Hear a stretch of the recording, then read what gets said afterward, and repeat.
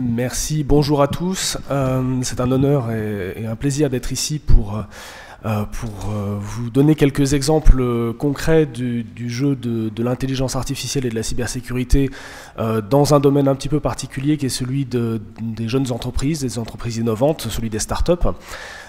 pour ce faire, j'ai invité ici aujourd'hui euh, trois représentants de, ces startups qui ont fait partie d'un programme dont j'ai l'honneur d'être le, directeur euh, à Station F, le programme Cyber Station F, qui a vocation euh, à aider le, développement de, startups dans le domaine de la cybersécurité.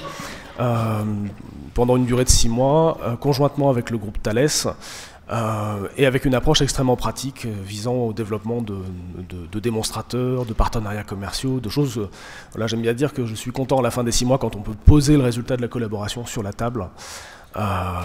donc voilà en quelques mots le, point de départ. Alors, les, trois représentants qui sont, qui sont ici avec nous pour parler de, ce sujet représentent des entreprises qui utilisent des formes particulières d'intelligence artificielle à des niveaux variés, euh, mais toujours dans, des systèmes de cybersécurité, c'est le principe de ce programme.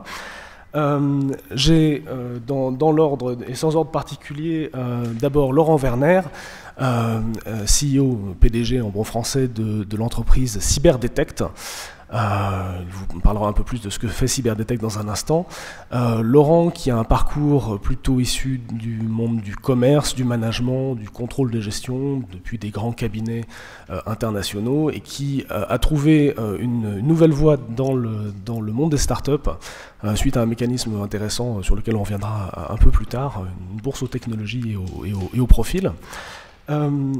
Ensuite, représentant la société Quarks Lab, euh, Marion Vido, euh, directrice scientifique euh, de, de, Quarks Lab, euh, Quarkslab est une société avec un modèle intéressant aussi, qui se réinvente dans l'édition logicielle et qui utilise euh, des formes variées d'intelligence artificielle à des endroits différents de la chaîne de, cybersécurité. Euh, Marion a un doctorat de, cryptographie et une double vie d'universitaire et, de, participation à l'entrepreneuriat à travers des, mécanismes de type, détachement. Donc elle, participe actuellement à Quarkslab, elle a un passé à l'ANSI, à l'Agence nationale de sécurité des systèmes d'information. Euh, et enfin, euh, J'hésite à le présenter en ces lieux, euh, il joue à domicile. Philippe Baumard, professeur des universités, intervenant ici au CNAM dans, un certain nombre de, programmes. je ne le présenterai plus. La seule chose que je dirais, c'est qu'il il est également le PDG fondateur de la société Akeros. Euh, qui prend un angle assez, euh, assez différent du modèle commun, on va dire, euh, sur l'utilisation, encore une fois, d'une certaine méthode d'intelligence artificielle dans la détection d'incongruités. Alors je, leur laisserai à chacun le, le, soin de présenter leurs activités. Voilà, moi-même, j'ai passé les dix dernières années à construire des systèmes d'innovation dans, dans, le groupe Thales. Euh, très technique euh, d'abord, puis plus commercial sur la création de lignes de produits. Puis euh, ces cinq dernières années, je les ai passées à créer des centres d'accompagnement à l'innovation par le design. Et j'y reviendrai aussi à un moment parce que deux des trois startups qui sont présentes ici ont pu bénéficier d'un mécanisme comme ça. Ce sont des profils qu'on n'a pas forcément l'habitude de voir dans, nos cercles habituels et qui sont extrêmement précieux. Alors, avant de leur passer la parole pour qu'ils décrivent en quelques mots les activités des sociétés, euh, j'aimerais faire un rapide sondage, j'aime bien savoir à qui j'ai affaire. Euh, est-ce que je peux vous demander de lever la main si vous êtes issu du monde industriel, s'il vous plaît?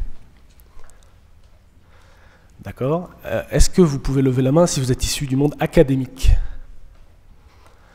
Très bien. Et enfin, levez la main si vous faites partie plutôt du monde gouvernemental Bon, bah, c'est bien, on a à peu près euh, trois tiers. Euh, dernière question. Euh, levez la main si vous vous définiriez comme un professionnel de l'intelligence artificielle.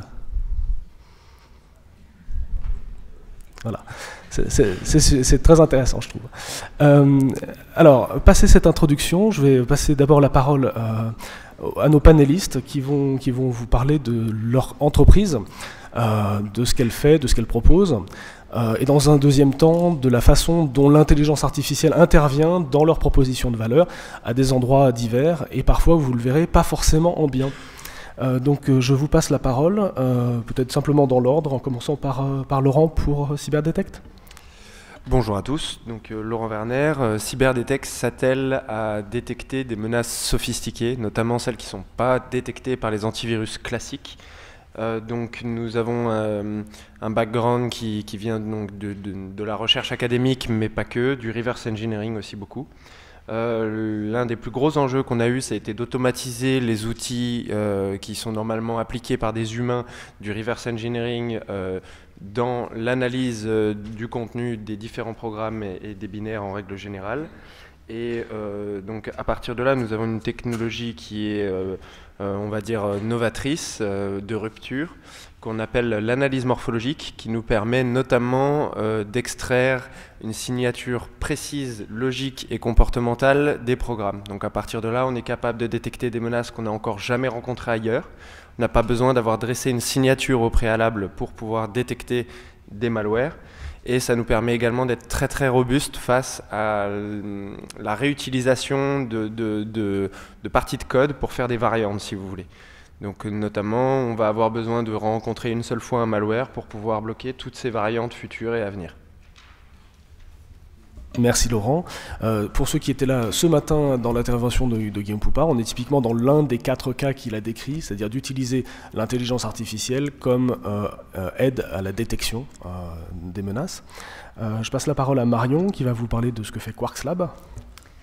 Alors Quarks Lab, c'est une société qui a deux pôles d'activité, un pôle d'activité de service euh, pour l'évaluation de sécurité ou le conseil en briques de sécurité de bas niveau et euh, un pôle d'activité en édition logicielle sur la production en particulier actuellement de deux produits de sécurité, un, obfuscateur de code qui euh, qui est le produit qui essaye de faire en sorte que les reverse engineers, les rétroconcepteurs euh, n'arrivent pas à retrouver la logique d'un logiciel, et un orchestrateur d'analyse de binaire euh, qui va traiter des masses de fichiers pour les analyser, que ce soit pour des analyses de sécurité ou pour vérifier si c'est des malwares ou pas.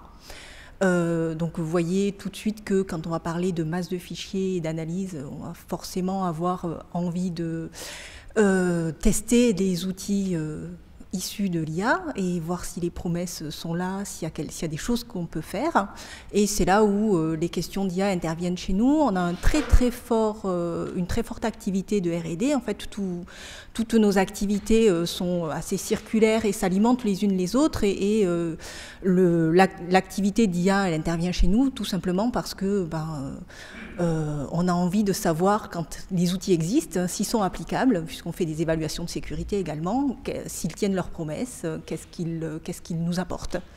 Et donc, euh, par exemple, actuellement, euh, nous avons un doctorant, un statisticien, qui, fait une thèse chez nous et qui, par la collaboration qu'on a entre les différentes thématiques de recherche que ce soit en reverse engineering, recherche de vulnérabilité ou crypto, euh, va nous permettre de savoir si, euh, oui, l'IA euh, peut quelque chose pour nous ou en fait elle peut pas grand-chose pour nous. Bonjour. Akeros, c'est une start-up qui est née dans le laboratoire d'aérospatial et d'aéronautique de Stanford, et qui a grandi ensuite dans l'incubateur du CNAM et qui est très heureuse aujourd'hui dans le programme Thales.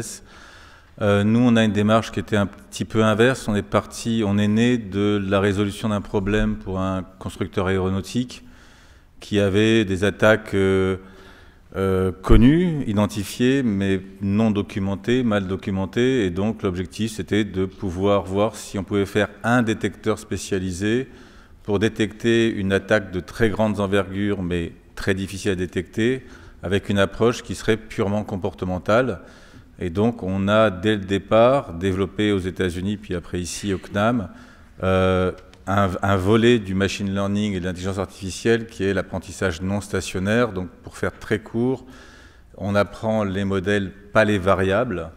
Donc, on a développé un moteur qui va euh, prendre des données brutes avec un système de sonde et de capture. Euh, qui est bien sûr orienté, mais qui est non supervisé au sens où il n'y a pas de modèle établi, c'est-à-dire que l'ontologie euh, est établie par la sonde elle-même, et euh, à partir de cet apprentissage qui est d'abord ontologique, et après on, a, essaye de trouver le modèle qui explique la donnée. Donc c'est tout à fait le contraire de ce que vous avez entendu avant, euh, l'approche du deep learning, de l'apprentissage renforcé.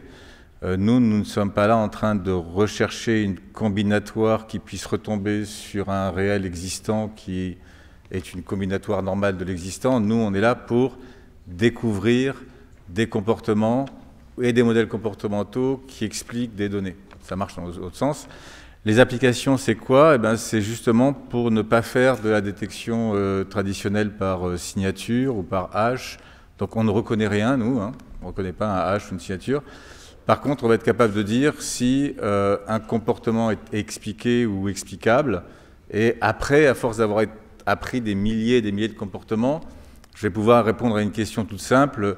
Est-ce que ce comportement ressemble à Jean ou à François ou est-ce que ce comportement ressemble à un rafale ou à un, bus euh, automatique euh, Et, et ça sert principalement pour tout ce qui est compromission, donc comprenez compromission comportementale non supervisée, euh, ce qui permet d'avoir un système qui n'appelle pas à la maison et qui va détecter, qui va dire tiens, le comportement est étrange, je ne peux pas l'expliquer, et la causalité vient de tel ou tel composants ou intrusion dans le système. Voilà. Merci. Alors, une première question, euh, au-delà de ces, présentations euh, introductives, une première question. Qu'est-ce qui est venu d'abord? C'est la cyber, c'est l'intelligence artificielle? Parce que manifestement, vos trois entreprises utilisent les deux, euh, se placent sur un marché de cybersécurité et utilisent de l'intelligence artificielle. Qu'est-ce qui est venu d'abord? Est-ce que c'est l'intelligence artificielle qui a, sur laquelle vous avez cherché une application et c'est la cyber qui est sortie en premier? Ou est-ce que vous aviez un problème de cyber et en cherchant un moyen de le résoudre, vous en êtes venu à, à trouver les les, algorithmes ou les méthodes que vous avez décrites. Qu'est-ce qui est, arrivé en premier? Eh bien, en, ce qui concerne Cyberdetect, euh, la cybersécurité est arrivée avant. Euh, la société est née d'un constat. Euh, les antivirus font leur travail, détectent certaines menaces, mais les menaces évoluant, l'informatique évoluant, il fallait créer une nouvelle technique de, de détection. Aujourd'hui, ces techniques, elles existent, elles se font à la main par des reverseurs qui vont euh, chercher, si vous voulez, à, désassembler les programmes pour pouvoir comprendre de quoi ils sont composés, essayer de redresser, si vous voulez, cette euh, fameuse suite logique d'événements qui sont censés, euh, enfin qui est censée découler de leur exécution. Et donc en fait, l'intelligence artificielle est arrivée après ces constats-là pour réussir à l'automatiser, pour arriver à rendre comparable l'incomparable parce que globalement, si vous désassemblez des programmes, vous arriverez à chaque fois des, des, arbres logiques qui sont incomparables les uns avec les autres. Donc pour arriver à les, comparer, il fallait une forme d'heuristique, de, de mathématiques, d'intelligence artificielle pour arriver à bien cibler les, parties euh, à conserver dans, la signature logique et euh, celles à supprimer. Et donc euh, typiquement, euh, chez nous, l'intelligence artificielle va avoir un rôle euh, de pas de remplacement de l'être humain, mais d'automatisation de nos, différentes fonctions sur lesquelles on travaille. D'accord. Et alors ça, c'est comme, comme tu as un parcours plus, plus à l'écoute du marché que forcément de la compréhension technique du fonctionnement. Est-ce que, euh, du point de vue des clients potentiels, euh, euh, voilà, vous vendez un service de cybersécurité, quelle est la, l'appétence ou, l'exigence des clients vis-à-vis d'intelligence artificielle? Est-ce qu'ils veulent voir quelque part le buzzword IA dans la proposition ou est-ce qu'on ne veulent pas en entendre parler? Est-ce qu'il y a quelque chose là-dessus? Alors, il y a, c'est partagé. Euh, on se retrouve donc dans, dans, une société où finalement le terme IA est très à la mode. Euh, donc euh, aujourd'hui, si vous cherchez à, lever de l'argent, obtenir des financements, appuyer le fait qu'une solution utilise de l'IA est un argument, un argument commercial. Après, Cyberdetect a une historique clientèle, enfin une clientèle historique qui est plutôt axée dans la défense, ministérielle, etc où là, pour le coup, euh, lorsque vous êtes en train de vendre vos solutions, il y a une certaine méfiance de la part des clients envers des, moteurs euh, qu'on donnerait de typologie IA pour lequel on ne pourrait pas expliquer exactement le fonctionnement.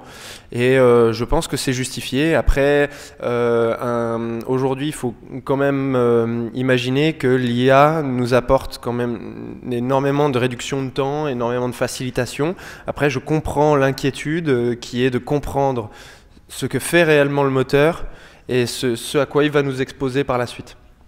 Et ça, c'est des problématiques que Marion ou, Philippe, vous avez, vous avez rencontré aussi, des, réticences ou, des, ou au contraire des appétences particulières sur ces sujets? Euh, C'est sûr qu'on nous demande un petit peu euh, euh ben, Elia, c'est tellement à la mode que forcément euh, on nous demande.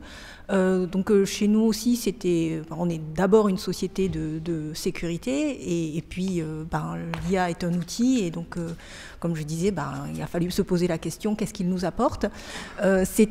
Quand même extrêmement intéressant parce que dans nos domaines, euh, et c'est la modification euh, générale de, du fonctionnement euh, partout dans les industries informatiques et numériques, la masse de données dont on dispose est concret euh, fait qu'on doit penser différemment les façons de, traiter ces données et de traiter l'information et les algorithmes de manière générale.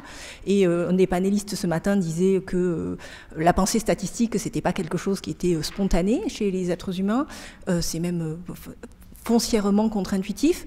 Et donc, euh, euh, avoir. Euh, ben, je suis la directrice scientifique de, de, de donc ben, mon but aussi, c'est qu'on ait un peu d'avance et un peu de formation intellectuelle aux outils théoriques, de manière à arriver à penser différemment les objets qu'on manipule. Et donc, ben, chez nous, on n'a pas actuellement de solution qu'on vend toute faite avec de l'IA dedans, pas du tout. Par contre, ben, ne serait-ce qu'avoir un avis euh, un avis argumenté et, contextualisé de ce que l'IA peut faire actuellement avec euh, les, objets qu'on manipule, c'est extrêmement important. Et peut-être viendront des opportunités qu'on commence à essayer de développer euh, en lien avec IRMA, notre, orchestrateur d'analyse de fichiers, par exemple. Il n'y a, pas de résistance, il y a plutôt un, appétit très fort des industriels. On a, des bons de commande pour, deux ans, donc ça va. Mais le, problème, c'est qu'en fait, c'est vrai que la, croyance générale, la logique dominante euh, est tournée vers un mode d'apprentissage, qui est l'apprentissage renforcé. Et on a maintenant une industrie qui, dans le monde entier, se structure là-dessus. Donc c'est très difficile pour explorer. Par exemple, ce qu'on fait, nous, c'est de l'apprentissage de découverte, c'est pas de l'apprentissage de, de, réplication. Et donc, quand on va avoir les gens dont on a besoin, les gens qui fabriquent des cartes graphiques, euh, qui fabriquent des processeurs, ben, en fait, ils, nous disent, ben, nous, on a un processeur, mais il est paralysable que pour faire du, deep learning. Et c'est un, problème à la fois côté industrie, parce que ça, fait qu'on est obligé de, réfléchir comment on va être embarqué, et, euh, ça demande un effort supplémentaire de notre part. Et puis, euh, c'est aussi un problème côté gouvernement, parce que euh, l'IA est, est, beaucoup plus riche et intéressante que, que l'apprentissage renforcé, en général. Et donc, c'est vrai qu'on a un club euh, mondial et un lobbyisme, très très fort euh, des gens qui euh, dépendent de l'apprentissage renforcé pour leur modèle économique publicitaire, par exemple. Et ça n'accélère pas la, R&D, ça, je pense que ça la, réduit un peu. Mais je pense que l'accueil est plutôt bien. Après, c'est vrai que dans les entreprises, quand on arrive et qu'on a l'habitude d'avoir des détecteurs par seuil, qu'on a l'habitude de travailler avec des checklists, qu'on a l'habitude de travailler avec des déviations par rapport à des, distributions nominales ou des lois normales, etc., d'avoir un outil qui a une capacité de découverte ou de formulation de modèles peut déranger les gens qui sont installés dans la boîte, ça, arrive. D'accord. Et alors, euh, euh, pour poursuivre sur cette idée de, voilà quand on va euh, quand on va euh, structurer cette, quand on suit la structuration qui se fait de, l'industrie autour de voilà d'une acception très particulière d'une méthode en particulier autour de l'intelligence artificielle qu'est-ce que vous diriez de l'écosystème français par rapport à ça? Est-ce que est-ce que cette, cette polarisation sur les réseaux de neurones pour pas les citer euh, vous la ressentez dans, vos activités, dans le, recrutement, dans les, démarches commerciales, ou, il y a une certaine liberté encore? Peut-être euh, euh, du point de vue, du point de vue euh, universitaire, peut-être Est-ce qu'il y, a, est qu'il y a des... Je pense qu'on n'est vraiment pas le bon échantillon parce qu'en fait, comme on est des startups et qu'on se permet tout, on explore ce qu'on veut. Donc, grosso modo, nous, nous, je pense aucun de nous ressent ça parce qu'en fait, on est un peu les enfants gâtés, les enfants capricieux du, du, paysage. D'accord. Il n'y a pas de difficulté. On fait, on, fait, on fait un peu de tout comme technique d'ailleurs, et on essaye, on, il n'y a pas de, de difficulté sur des mécanismes de financement ou sur des aides ou des soutiens voilà, qui seraient euh, vraiment fléchés euh, voilà, euh, machine learning d'une certaine techno ou autre En fait, dans la cybersécurité, il faut savoir que les, les différents interlocuteurs qu'on peut avoir recherchent du résultat. Et aujourd'hui, rechercher du résultat, c'est un petit peu comme le disait Philippe, à juste titre, bah, tous les moyens sont bons. Et en fait, euh, je veux dire, si euh, derrière vous avez euh, un, moteur assez innovant comme celui de, de, de, Philippe et que vous couplez ça à une technique autre comme par exemple celle que développe ma société ou encore celle de Quarks Lab, vous arrivez finalement à des rendements encore supérieurs. Alors après, pour ce qui est de l'obtention de, financement, aujourd'hui, il faut savoir que euh, les acteurs de la défense, les acteurs ministériels, ont très très bien compris qu'il y avait quelque chose à jouer là derrière. Donc du coup, si on arrive avec une solution euh, relativement expliquée, documentée, on accède assez facilement à des, moyens de financement pour mettre euh, ce genre de solution à jour. La difficulté pour nous, startups, c'est qu'on ne peut pas se focuser sur des milliards de choses. Donc la difficulté, c'est justement un petit peu le travail que vous, Thalès, vous avez fait, d'essayer de mettre plusieurs acteurs autour de la table, notamment des gens qui s'occupent euh, de choses différentes pour pouvoir les faire travailler ensemble, parce que dans les startups aujourd'hui, il n'est pas possible de mener, enfin d'arriver à faire une vraie solution de cybersécurité de A à Z euh, sans euh, des profils et, des, expériences différentes qui peuvent venir d'autres sociétés. Alors juste une petite précision euh, pour, pour l'auditoire, ça c'est une, des particularités sur le programme cyber, on essaie de forcer, de forcer. Il faut que ça ait un sens, hein, mais euh, sur la dizaine de startups qu'on accélère dans chaque batch, on essaie de, euh, vraiment de creuser à fond les opportunités de rencontres, de croisements, d'hybridation, comme on dit, euh, entre, les, entre les différentes startups.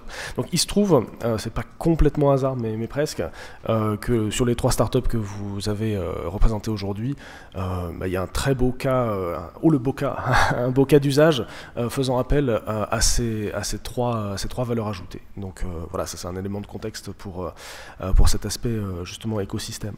Euh, en, même, temps, pour rebondir sur ce que tu disais, c'est vrai qu'en même temps, le, les industriels qui sont dans la salle, voire le gouvernement, a, pas mal de choses à apprendre de votre programme. Parce que votre programme, il est. Pour expliquer un peu le programme qu'ils ont monté à la station F avec Thales, c'est une sorte de mélange entre le Google X avec l'accélération à la Google où il y a les, les, les Black Projects, on essaie de voir des trucs super innovants, et puis une sorte de méthode de vision plus européenne où en fait on bosse avec des business units sur des, euh, des preuves de concept ou des preuves de valeur hyper accélérées, sauf que c'est pas au hasard, c'est-à-dire que les, dirigeants de business unit qui sont les champions ou les coachs, en fait ils ont ça dans leur vrai agenda, donc il faut qu'ils le fassent. Et je trouve que le, le, modèle est bien, puisque nous on a fait trois POC, ils ont fait deux POC, enfin je veux dire, euh, en, six mois, je crois qu'il y a eu 18 millions d'euros de, de, de levée de fonds. Et il y, a eu, avec les 11 startups que vous avez sélectionnées, peut-être qu'il y a eu peut-être quelque chose comme 20 ou 30 POC. Et ça, c'est vraiment un bon résultat, il faut le noter quand même. Merci. Euh, et, euh, bah, voilà, si vous voulez en savoir plus, euh, on, prendra des questions à la, fin, plutôt vers la fin de la, séquence. je vous fournirai les références également. Est-ce qu'il y a des, justement dans cette logique de, mécanismes d'accompagnement ou d'accélération de, des startups en IA ou en cyber, vous qui faites les deux, est-ce qu'il y a une différence? Est-ce que vous allez manger à tous les râteliers ou est-ce que est-ce que, voilà, est-ce que, vous, est-ce, que déjà il y a des, différenciations euh, fortes euh, là-dessus? Alors à Quartz pour le moment, on, vise plutôt les, les financements liées à la cybersécurité, euh, sachant qu'on ne va pas partout, euh, tout simplement parce qu'il y a des choses qui sont extrêmement coûteuses. Quelqu'un parlait ce matin euh, des mécanismes européens. Par les mécanismes européens, je l'ai fait une fois et je n'étais pas porteur, parce que je savais qu'il ne fallait pas l'être. mais c'est voilà, des pourcentages de chances d'avoir les financements qui sont ridicules pour un investissement en temps qui est monstrueux. Et, encore, j'étais dans, une équipe où le porteur était était un champion du monde du montage de dossiers européens. Euh, euh, en revanche, il y a d'autres mécanismes, ben, je, pour ne pas le nommer, les mécanismes des rapides de la DGA qui sont, euh, qui sont beaucoup plus accompagnés d'une part et avec des pourcentages de chances de les obtenir qui sont, plus élevés et qui sont accompagnés tout le long de, leur déroulement par la DGA, qui sont vraiment de la RD et qui, euh, ont été pour nous euh, très, très porteurs, euh, en, particulier en particulier pour notre obfuscateur Epona. Donc on a, eu deux rapides qui ont, été, qui ont permis, un de bootstrapper et un actuellement de, développer de nouvelles fonctionnalités dans, l'obfuscateur. ce qui est amusant quand on parle de, financement lié euh, à l'IA euh, ou pas, c'est que euh, ben on, voit bien qu'il faut en parler, hein, c'est incontournable, et, tout de suite après, il y a oui, mais de quoi on parle? Donc c'est oui, est-ce que c'est de l'IA Est-ce que, vous, utilisez du machine learning? Mais dans ce que, vous me décrivez, qu'est-ce que c'est? Alors, il faut commencer à dire oui, mais c'est parce qu'on a une vision, graphique des objets qu'on manipule, et donc on peut appliquer des algorithmes de traitement de graphes qui, eux, pour certains, sont classifiés dans de l'IA, et donc on peut avoir un lien. Euh, c'est tout de suite justifier euh, le lien parce que euh, c'est devenu tellement tellement touche à tout et, tout le monde se raccroche tellement à l'IA que ben, maintenant, euh, dire IA, ça ne veut plus dire grand-chose hein, finalement. Oui, tout, à fait. J'aimerais rebondir sur quelque chose, c'est que donc, du coup QuartzLab choisit la voie de la cybersécurité. Je pense qu'en fait, euh, et on l'a vu ce matin encore beaucoup, euh, je suis désolé, j'étais pas là hier, donc je ne pourrais pas témoigner des interventions d'hier. Mais donc l'IA est déjà un milieu qu'on cherche à réglementer. La cybersécurité est elle-même un domaine très réglementé faire travailler l'un dans l'autre demande finalement aujourd'hui euh, de, multiples expertises. Et donc il faut en effet choisir euh, un chemin. Après, on peut tout à fait faire de la cybersécurité avec de l'IA. Hein, je, laisserai Philippe en dire un petit peu plus.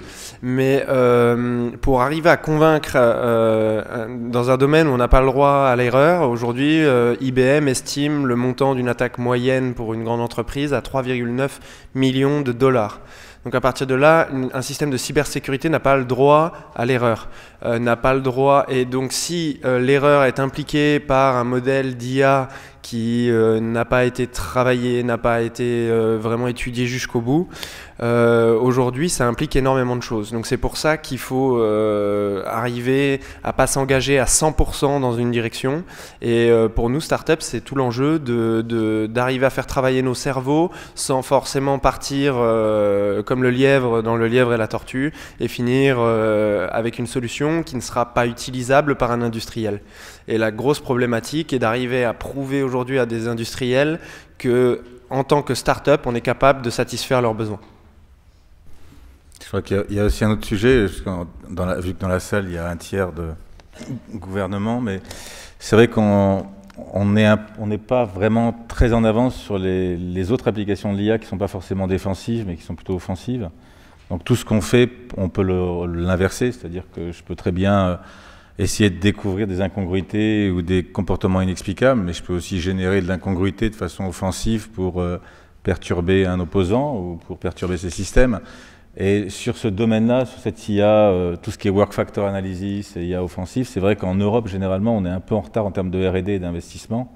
Donc dans la perspective du thème de la conférence, nouvelle puissance, je pense qu'il faut vraiment commencer à réfléchir. Moi, je suis un peu inquiet quand je vois des discours qui essayent déjà de cadrer des technologies, euh, des axes ou des plans nationaux, quand on n'a même pas de capacité réelle R&D sur l'offensif ou le contre-offensif. Oui, ça, ça on l'a très bien vu, euh, je pense, euh, aussi euh, ce matin dans, dans, dans une intervention sur les, les, enjeux budgétaires qui, sont, qui, sont mis, qui sont alignés. juste quelques ordres de grandeur plutôt proches de l'écosystème des startups. les, les tickets moyens, donc les, les investissements moyens mis, mis dans des tours d'investissement dans les startups varient, varient dans des proportions assez gigantesques selon l'endroit où on regarde. En matière de cybersécurité, un des écosystèmes les plus euh, les plus fonctionnels et les plus industrialisés, comme ça a été dit, c'est euh, euh, Israël. Le, ticket, le, tour moyen d'investissement dans une startup de cyber en Israël est plutôt dans les 10 millions de, dollars. quand on traverse l'Atlantique, enfin d'abord la Méditerranée, le détroit de Gibraltar, l'Atlantique, et qu'on va aux, États-Unis, les tickets peuvent être très largement supérieurs. En France, on reste, euh, enfin, on fait un très beau premier tour si on fait un tour euh, entre 3 et 5 millions d'euros. Euh, voilà, donc on voit que les, échelles de grandeur sont, aussi très différentes et que l'investissement peut aussi être, différent. pour, pour, ceux d'entre vous, alors je sais que vous êtes presque tous en, cours de, levée ou de recherche d'investissement. Euh, dans les relations que vous avez avec les investisseurs, est-ce que ça, c'est des sujets qui, viennent, euh, qu'on évoque, euh, dans ces tours d'investissement? Oui, c'est le cas. En fait, ça, dépend un petit peu de, des interlocuteurs, mais en ce qui me concerne, en ce qui concerne Cyberdetect, les fonds d'investissement qui nous suivent sont des fonds d'investissement avec un haut niveau d'abstraction, un haut niveau technique. C'est des gens qui souvent euh, interviennent suite à une recommandation, notamment par exemple de nos clients historiques comme la DGA, etc. Donc on est euh, en face de, fonds d'investissement qui savent euh, comprendre ce qu'est une solution d'intelligence artificielle, si, si elle est utilisée à bon escient, si c'est un effet publicitaire. Après, euh, je sais que pour d'autres sociétés, tu l'as mentionné, euh, outre-Atlantique, euh, on va souvent faire un peu plus de roulement de tambour autour de,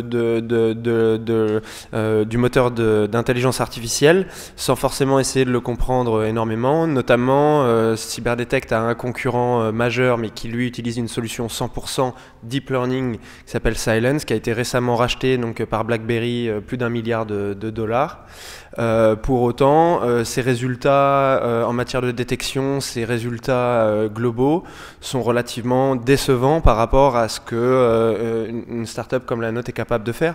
Donc aujourd'hui, oui, les investisseurs s'intéressent à la technologie qu'on va utiliser et je pense que la technique chez nous en Europe est plus vérifiée. Et donc ça peut être aussi malheureusement un frein pour nous, mais finalement quand même un lien de confiance. Donc quand vous voyez une, une start-up arriver à lever en Europe, vous êtes en face normalement d'une solution un peu plus certaine, un peu plus fiable euh, que ce que vous pourrez peut-être avoir outre-Atlantique. Suis entièrement d'accord avec toi. J'allais dire que les, investisseurs européens sont aussi, ont une forme d'intelligence euh, plus offensive, mais ils sont aussi moins tournés vers le marché. Donc euh, c'est, on gagne et on perd. Parce qu'en fait, les, euh, le problème avec les investisseurs américains, c'est que le, contexte légal est très lourd, donc on peut très facilement se faire rouler dans la farine. Et ensuite, enfin, notamment en Californie, on peut changer de main très rapidement parce que les mécanismes de financement à seuil, il y a des LCC, il y a des, prêteurs de fonds qui rachètent, qui font du, regroupage de paquets d'investissements. Donc on commence avec euh, General Motors et puis on finit avec General Dynamics. Donc on est mieux logé de ce côté-là. Euh, on est moins bien logé du côté de la vitesse. Quand on travaille en Californie, euh, si c'est non, c'est non tout de suite. On n'attend pas 3-4 mois. Et si c'est oui, c'est oui tout de suite. C'est-à-dire que ça va très très vite. Alors qu'en France, on a une certaine lenteur dans le, dans le déploiement de l'investissement. On a une ingérence pas toujours très bonne. Les Américains font pas beaucoup d'ingérence. Ils font de l'ingérence dans les chiffres. Ils serrent la vis sur les chiffres, mais ils font pas d'ingérence de management. Euh, et donc on a peut-être des, choses à équilibrer aussi côté Europe. Oui, et on passe pas forcément par un investisseur non plus. Et, là, enfin, les cas d'Akeros et de Quarks Lab sont, illustratifs. Ah bah oui, Akeros et Quarks Lab, on était autofinancés toute, notre, vie. Nous sommes autofinancés. et euh, euh, par rapport euh, euh, au fait qu'il y, a des différences sur euh, les, points de vue et les vérifications entre la France et les, enfin, entre l'Europe et les États-Unis.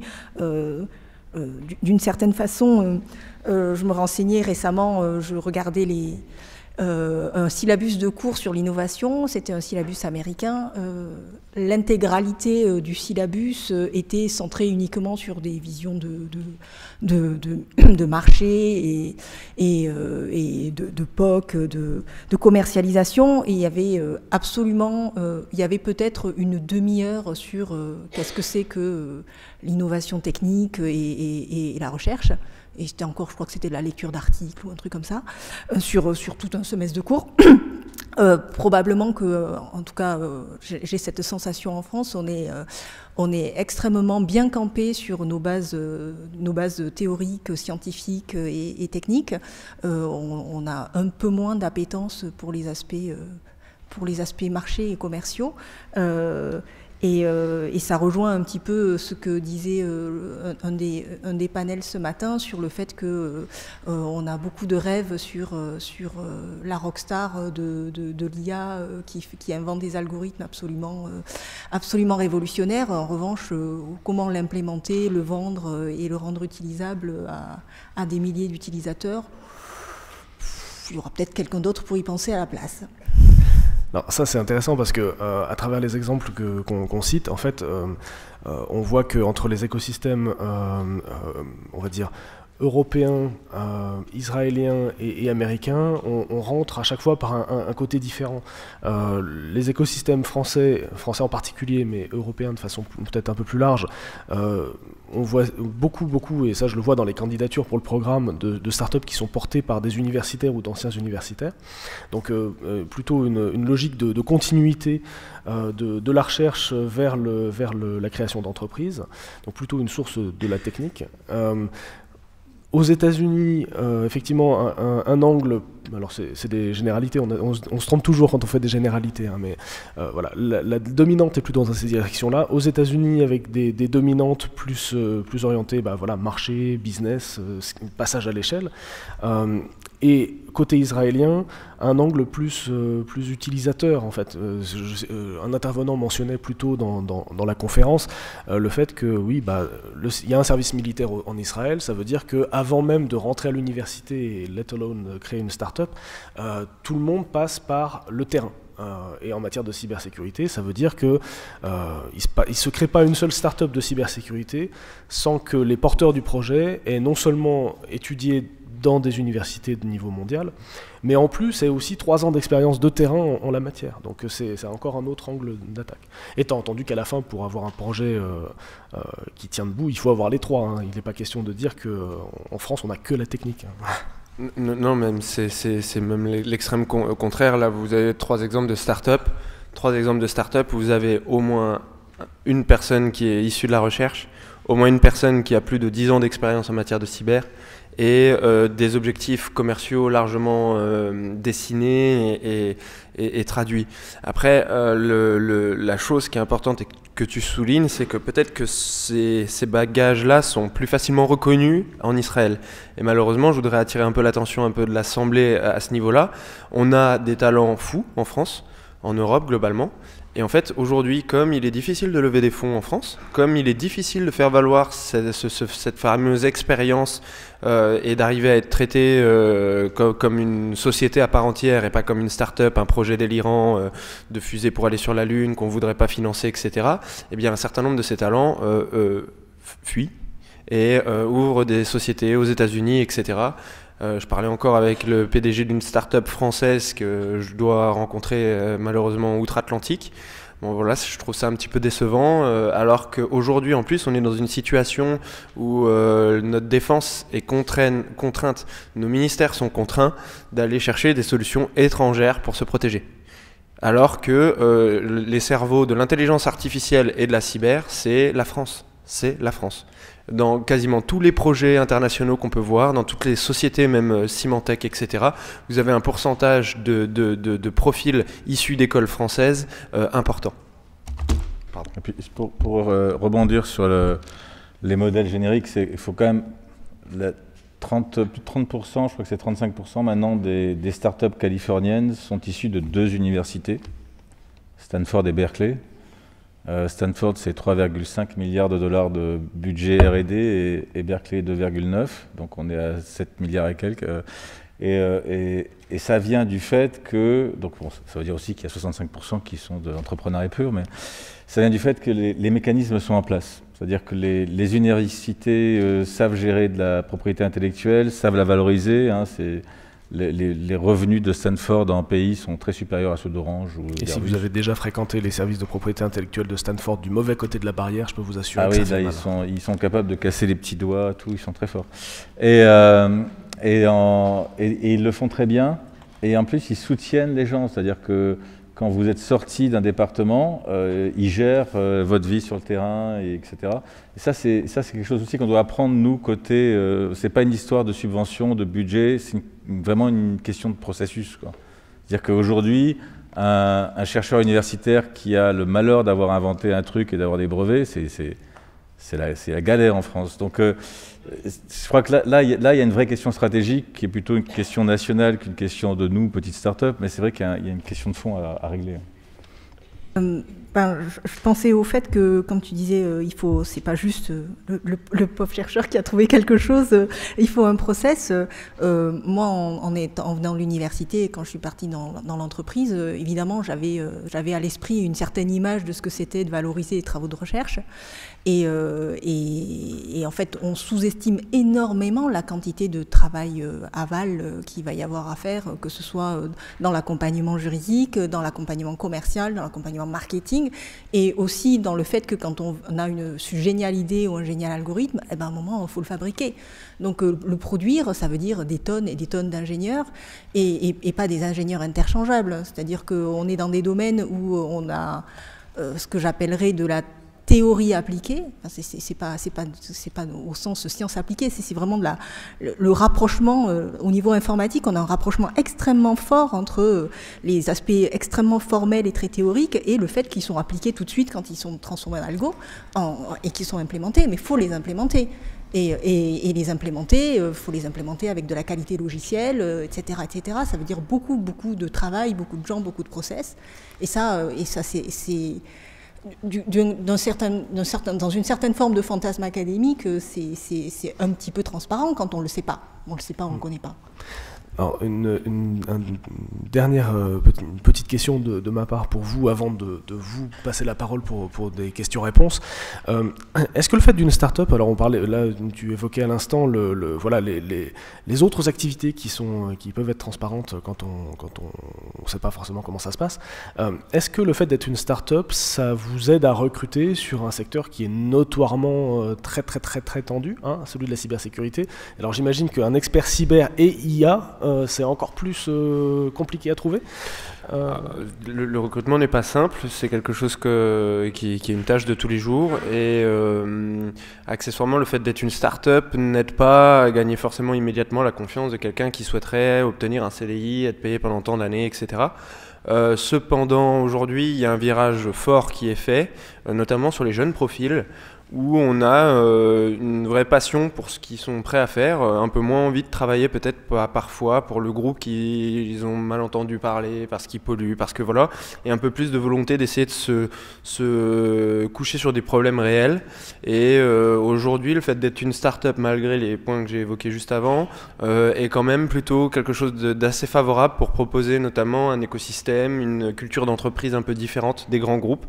Et aujourd'hui, malgré le fait que la cyber est un milieu où il est très dur de trouver les profils, euh, je suis normal, enfin j'ai jusqu'à présent pas trop de difficultés à trouver les gens idéal, euh, idéaux pour, euh, pour les différentes tâches que j'ai à leur donner.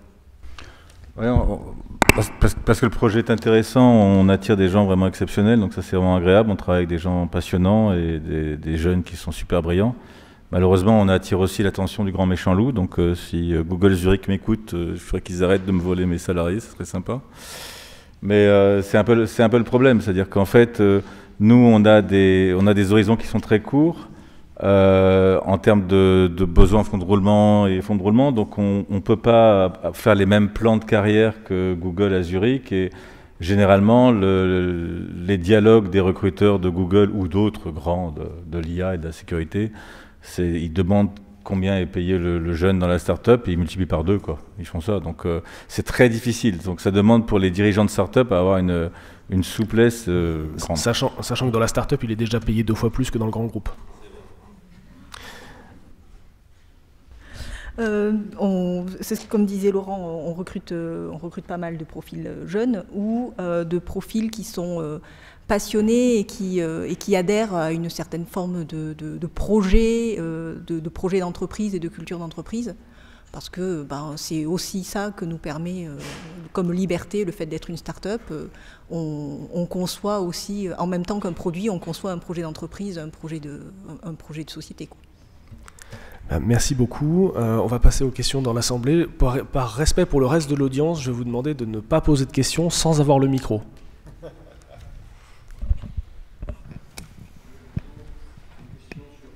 Le micro qui marche, c'est encore mieux.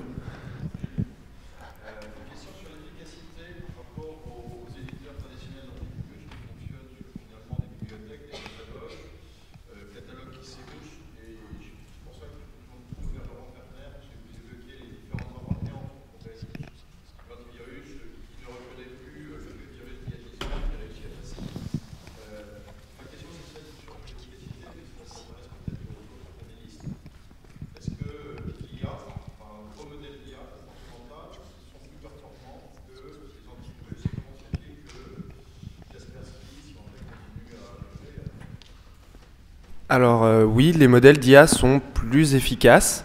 Alors c'est, malheureusement c'est un petit peu douloureux pour moi de dire ça parce que donc euh, ça dépend comment on s'y prend. Euh, notamment par exemple nous on est sur de l'IA vraiment raisonnée donc on va se placer vraiment à la limite entre le symbolique et et j'ai oublié le deuxième voilà, et donc du coup, on, est vraiment partisan d'un système d'AI euh, raisonné. Euh, en fait, notre modèle IA va permettre euh, notamment d'appliquer, si vous voulez, des techniques qui sont normalement pas automatisables. Et donc en fait, grâce à ça, on arrive vraiment à un taux de précision bien meilleur. Par contre, si finalement vous voulez avoir un service qui fonctionne aussi bien qu'un antivirus classique, je vais me tourner vers Philippe et je vais avoir besoin en fait finalement d'un autre moteur, d'une autre forme d'IA que nous on développe pas qui va permettre, si vous voulez, d'agréger nos différentes IOC, comme on appelle ça dans le domaine. Donc, c'est les indicateurs de compromission. Euh, donc le O pour le off. Euh, et euh, en fait, sans avoir, si vous voulez, différentes approches, aujourd'hui, un moteur d'IA pur et dur comme celui que vous avez chez Silence en deep learning tel qu'il est, aujourd'hui a besoin d'une grande phase d'apprentissage et donc du coup un gros taux d'échec de, sur les démarrages euh, de, détection. Par contre, en combinant plusieurs approches, vous pouvez arriver à, des, résultats qui sont... Euh, euh, les mathématiciens ne reconnaissent pas le 100%, mais proches du 99,9%. Voilà, et pour en savoir un peu plus, je, vous inviterai à, revenir vers chacun d'entre nous sur, sur ces sujets. Peut-être une, une, question Oui, une question brève. Je pose la question à l'ensemble des intervenants. Avez-vous le sentiment que les décideurs ont une connaissance suffisante de leurs données stratégiques et dans la foulée, euh, quels sont les terrains et périmètres d'action de vos interventions cyber et IA Est-ce que c'est dans les cœurs de métier Est-ce que c'est dans l'extension de l'offre euh, systémique? Est-ce que c'est dans euh, d'autres aspects comme les processus internes? C'est une bonne question. Il, y a, deux problèmes. Il y a un problème de manque de compréhension et de formation technique des décideurs. Et là, c'est aussi bien dirigeants d'entreprise que gouvernementaux. C'est-à-dire qu'en fait, pour bien comprendre les enjeux futurs, il faut bien comprendre ce qu'est capable de faire ou ne pas faire la technologie. Et là, il y a un grand déficit, mais ce n'est pas un déficit qui est forcément français ou européen. Euh, il y a le même déficit quand on lit euh, euh, si on prend la, le, version gouvernementale, quand on lit la dernière doctrine US, euh, celle de euh, Kickfisher, là, qui était la doctrine de, de cyber-défense américaine, c'est une doctrine de, BLOAC, de Below the Level of Armed Conflict, et on voit bien que l'intelligence artificielle, en tout cas par ceux qui ont conçu cette doctrine, est conçue un peu comme une pensée magique et, qu'il y a vraiment de de la fantasmagorie qui est exprimée en texte de doctrine nationale, ce qui est un peu inquiétant. Euh, après, je pense que ça va se, résoudre assez rapidement par le marché. J'ai assez confiance dans le marché parce que les, la capacité, c'est ce que tu disais tout à l'heure, quand on est dans une théorie appliquée, euh, on arrive assez vite à, démontrer la capacité de ce qu'on sait faire avec des modèles d'IA performants. Donc le marché va vite rattraper et, apprendre. Mais je pense que les derniers à être capables d'apprendre, ça va être les gouvernements, c'est sûr.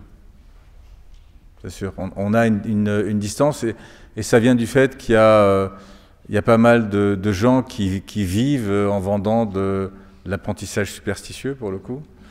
Euh, à des gouvernements en montant des, sortes de, think tanks ou de machins qui ont l'air de trucs super officiels avec des gens qui n'ont aucune compétence technique euh, et qui du coup euh, passent leur, leur, vie à, réécrire des mauvais romans comme si Zelazny avait été revenu sur Terre et faisait de la mauvaise science-fiction. Ça, c'est un vrai souci. ça aide pas quand, quand on quand on a une vision même gouvernementale où on se dit, tiens, euh, où, l'échelle est tellement ridicule qu'on est décrédibilisé. C'est-à-dire, si on dit, tiens, si, si il suffit à, une grande plateforme de faire un chèque de 30 millions pour être en situation de capter à 4800 euros bruts euh, nos jeunes euh, docteurs en IA, c'est une mauvaise idée.